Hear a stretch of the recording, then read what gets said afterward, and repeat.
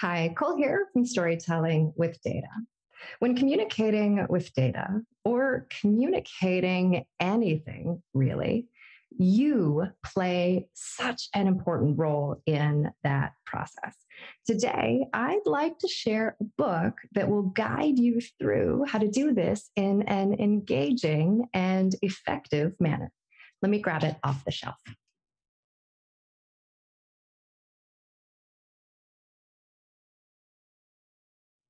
It's my new book, Storytelling with You Plan, Create, and Deliver a Stellar Presentation. This is actually the very first copy off of the press. I got to take a fun trip a couple weeks back to Versailles, Kentucky with my husband, where it printed. And I made friends there who were kind enough to overnight me the finished product when it all came together.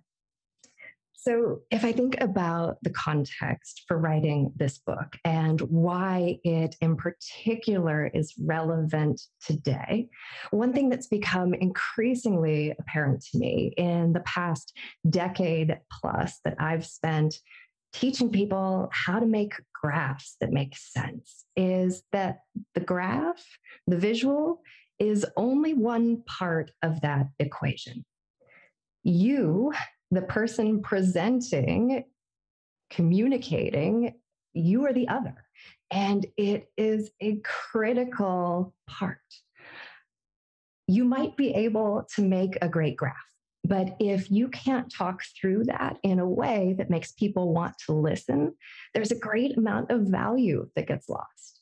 And this extends beyond communicating with data specifically to communicating anything if you can't talk about your work in a way that makes people want to listen, you'll be limited in the impact that you can have.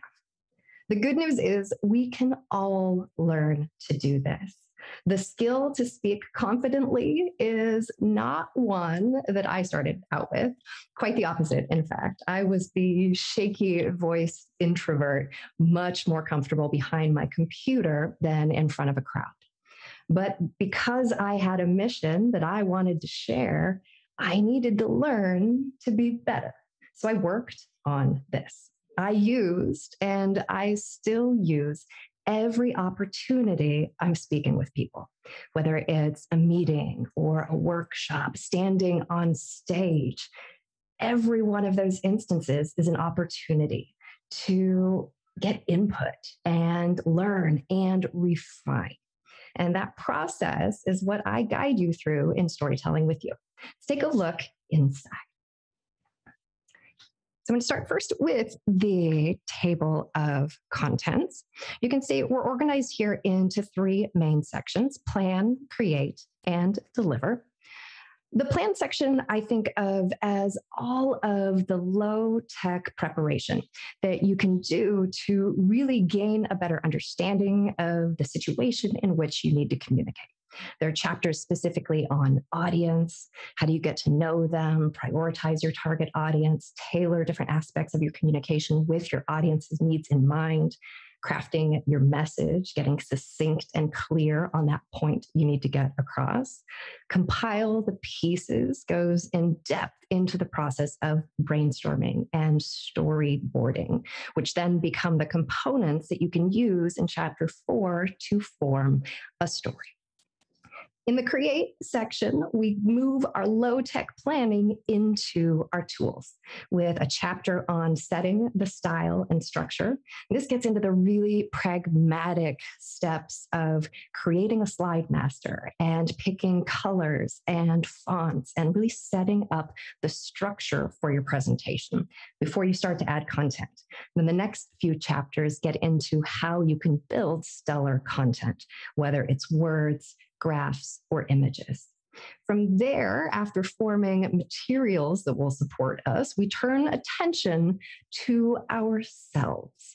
and really understand how to practice to refine how you speak, uh, specific ways to build confidence. There's an entire chapter devoted to the art of the introduction, which actually becomes a really interesting and personal case study where you can apply each of these strategies and lessons. So even if you don't have an important presentation or meeting on the horizon, you can still practice and gain value from doing these steps. And the final chapter is have a stellar session.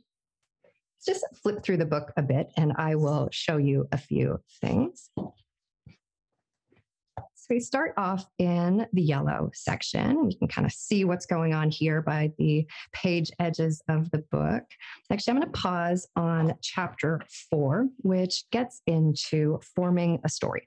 And actually go deeper into story here than I've done in any other settings or in either of the other books with a really solid understanding both why we would use story in a business setting and, and what that means. The structure of story gets into some different views, starting out with very basic plot twist ending, go through the narrative arc, which will be familiar for those who follow our other work, Freytag's pyramid, and then what I like to call the jagged mountain. I just want to read you a short excerpt here. The jagged mountain could encapsulate every up and down over the course of the narrative. Or, bringing this back to business, every oscillation through the duration of our project. While all of these ups and downs may be critical to keeping our attention over a 400 page book or a two hour movie, it's rare that you have this much time or attention span from your audience in a work setting. Additionally, we don't necessarily need to convey the comprehensive story. Different audiences will care about disparate levels of detail. The exec might only want the basic story or high level arc. The finance partner will be interested in a completely distinct set of peaks, merging into a widely varying storyline or narrative than what you would use to communicate to the marketing lead. This goes on to say when we are the ones communicating, we generally must have a good sense of all or most of the peaks from them, we should be able to identify and weave together the specific subset that will work for others. To say this another way, you are not telling your story. You are forming a story for your audience Let's just flip through some of the pages from here. So we finish out the yellow section and then we get into blue, starting with setting style and structure. It's where we see how to build a slide master and navigation scheme, chapters on words. Uh, let's see, we'll get into some data and images.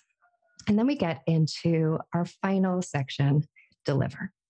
And I just wanted to show you my favorite chapter in the book is chapter 10 Build Your Confidence. And I'm not going to show you the details. I'll leave those for you to explore. But this was a fun chapter. I, I, wrote it late in the game and actually, for a long time, didn't know exactly what it was going to be. I was documenting ideas that would come up as I was writing other sections. And then I apply much of what I teach here to my writing as well. In particular, storyboarding, which we get into in chapter three of the book. But this is the storyboard from chapter 10. So a lot of brainstorming and rearranging over time went into this. And some of these sticky notes end up becoming section titles and ideas for examples and so forth. It's a fun relic of the planning process. So, actually, let's flip to the end here, just to again give you a sense of the look and feel. Uh, and actually, I build in a case study to a final presentation at the end. And that full slide deck is included at the end of the book.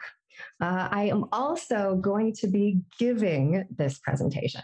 So if you are watching this before September 22nd, 2022, I invite you to join the worldwide premiere of that final presentation. If you're tuning in after September 2022, you can watch the video.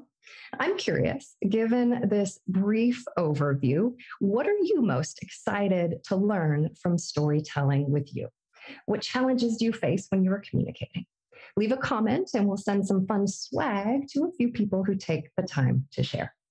I'd be thrilled to have you add storytelling with you to your library. Also, check out the site we've created to support it at storytellingwithyou.com. Thanks very much for tuning in. I'll see you next time.